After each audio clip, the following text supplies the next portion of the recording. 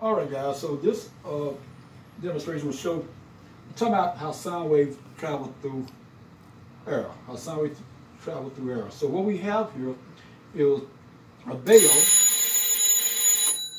You know, we have the base, we have this bell jar, and we have this vacuum pump. And there's a valve attached to the base here so that we suck out the air. Once we put on this bell jar, we can suck the air out of the system and see what happens to the sound wave when there is a vacuum you know, surrounding it. So what we're going to do is, first of all, again, we're going to turn the bell. Now, we're going to put on the bell jar. And even though the sound is, is muffled, you still can hear the sound of the bell ringing. Now, we're going to attach the hose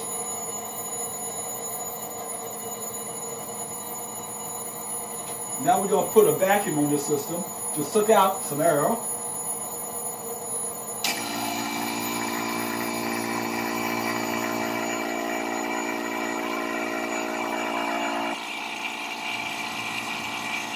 Okay, so now what we're going to do is close off the valve here.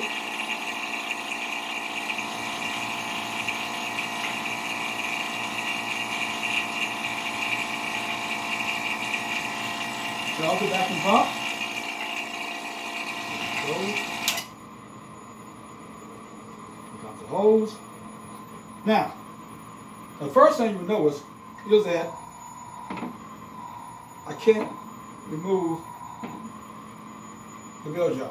Atmospheric pressure is pressing down all around it, and there's less pressure inside now. But notice the sound. Listen for the sound of the bell now. There's less air inside the less in, in air inside of this bell jar now. Listen to the sound of the bell. It's going down. Very muffled. Now, let's put some air back into the system. So I'm going to open this valve here.